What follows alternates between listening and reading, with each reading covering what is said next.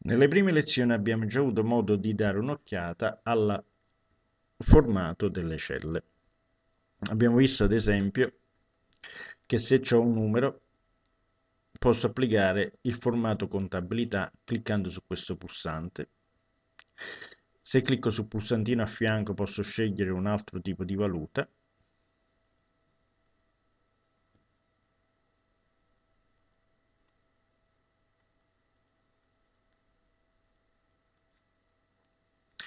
Il discorso continua.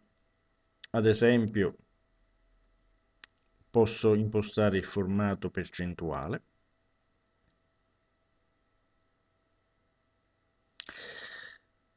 Se clicco in questo menu superiore, vedete che ho altre opportunità. Generale, numero, valuta, eccetera, eccetera.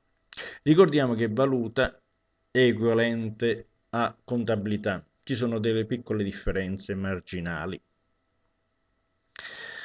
Poi abbiamo anche il formato data. Allora, supponiamo di immettere un numero e poi impostiamo data. Ci fornirà una data del nostro, in questo esempio del 1900. Perché?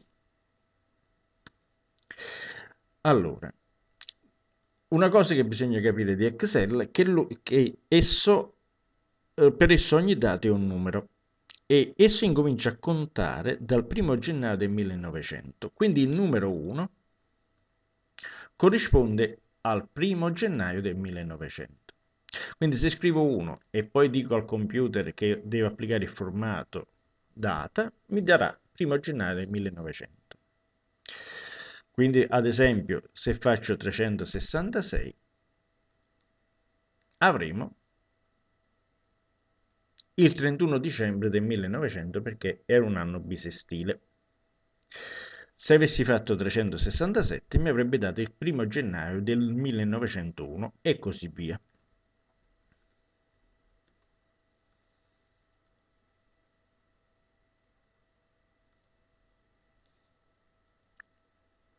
Se ad esempio possiamo fare il contrario, vogliamo sapere oggi che data è, basta scrivere la data, cioè che giorno è rispetto al 1 gennaio 1900, scriviamo la data di oggi.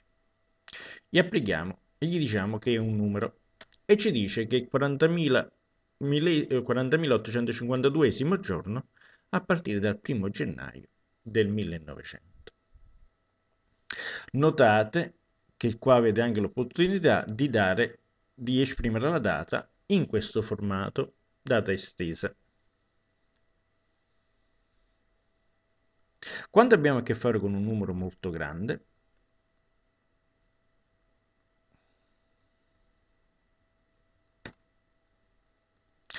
esso viene espresso in un formato che viene detto formato scientifico eh, avendo a che fare con numeri molto grandi, per rendere il numero più leggibile, nel formato scientifico vengono fornite soltanto le prime cifre,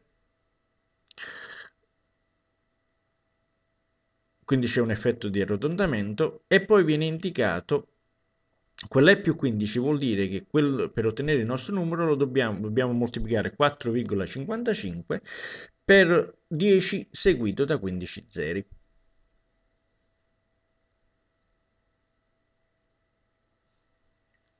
Se noi vogliamo il nostro formato tradizionale, basta che selezioniamo la voce numero.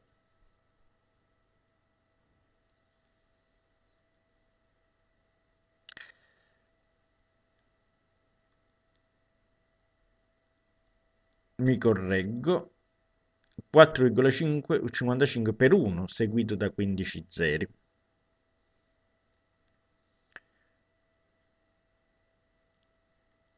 Notate che con la notazione scientifica si ha un arrotondamento perché si perde informazione sulle cifre successive. Quindi si perde imprecisione nell'espressione delle cifre. Ma diventa indispensabile quando abbiamo a che fare con numeri molto grandi. Maniera analoga anche se abbiamo a che fare con numeri molto piccoli.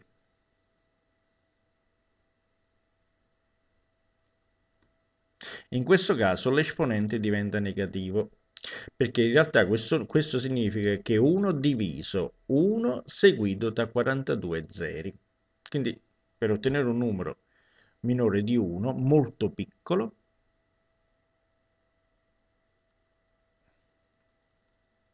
bisogna fare una divisione.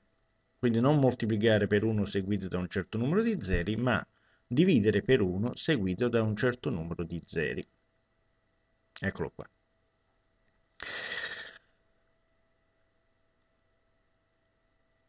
Oltre a usare questa, eh, questo menu all'interno della scheda home, per accedere alla eh, formattazione, al formato delle celle, si può cliccare sul pulsantino a fianco della parola numeri per far uscire la scheda corrispondente.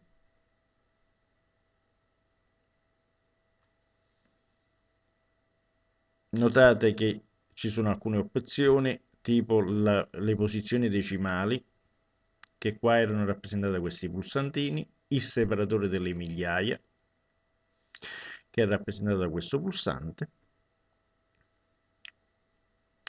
C'è la possibilità, se abbiamo a che fare con numeri negativi, di indicare un formato apposito con cui rappresentarli, per esempio in rosso a posto del meno, oppure usare il segno meno ma contemporaneamente il colore rosso.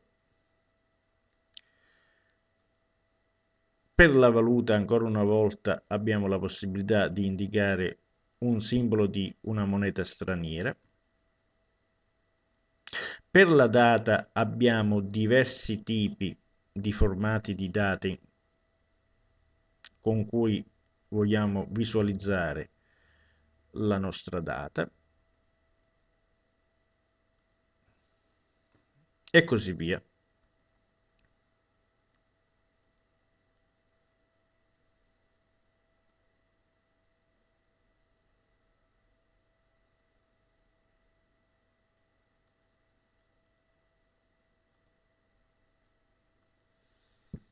Ora